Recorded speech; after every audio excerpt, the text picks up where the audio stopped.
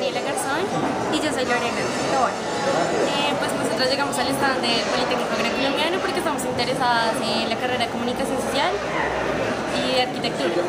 Eh, pues la verdad me gustó mucho la facilidad que da el Politécnico Colombiano ya que pues necesito estudiar en, en el horario nocturno y pues no me pareció tan costosa.